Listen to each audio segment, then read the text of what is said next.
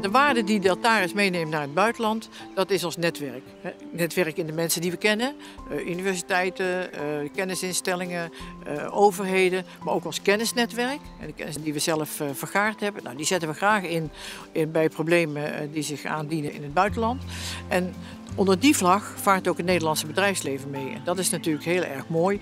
De Nederlandse watertechnologie heeft een hele goede naam in het buitenland. En als zij met ons meegaan, dan heeft dat een, eh, een waarde voor Nederland. Uh, ja, uh, zeg maar dat het zwaard daar aan twee kanten snijdt.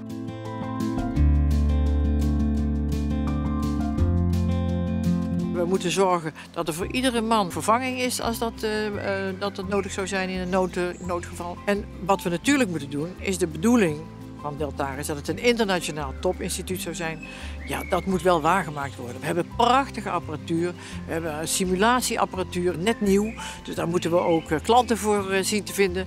Ja, dat voorzie ik voor 2005, het wordt een heel spannend jaar.